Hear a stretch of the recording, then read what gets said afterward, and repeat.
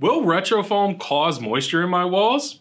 Let's talk about it. Something we get asked every once in a while is, will adding RetroFoam cause moisture issues in my walls? Well, the quick answer is no, not really. I do want to talk about two situations where it could cause some complications, but as usual, there's a much deeper explanation. The first situation I want to talk about is if a house already has fiberglass in the exterior walls, a lot of times that fiberglass can have things already in it such as dust, debris, different things like that from pests and whatnot. But also, that fiberglass can have a lot of moisture that's retained. If you've ever taken fiberglass out of either walls that are being demoed or an attic or especially a crawl space, fiberglass can hold a ton of water and sometimes you can actually wring out the water, it can hold that much. There is a chance if fiberglass already has some moisture inside the walls, you now put the foam in with it, and now that moisture is kind of getting pushed into the living area of the house. So that can add some complications. So that's one situation to keep in mind. Now, the other situation I want to talk about when it comes to moisture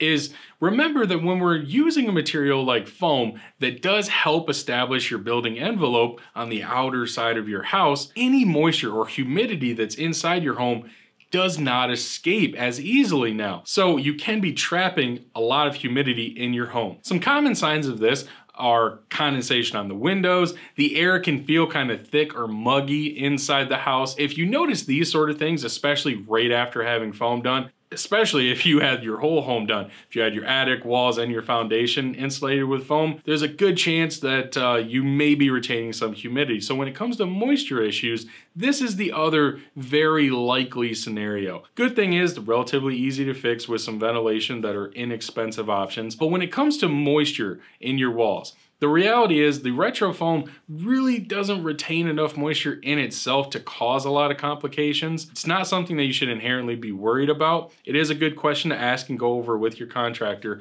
but keep in mind, if you're worried about moisture, there's a few things to check beforehand to avoid any issues. So if you think you're ready to cozy up your exterior walls, go to our link below to our Find a Dealer page. Find your local RetroFoam dealer and learn how you can make your home more comfortable today. This is the Professor Foam reminding you that building is a science.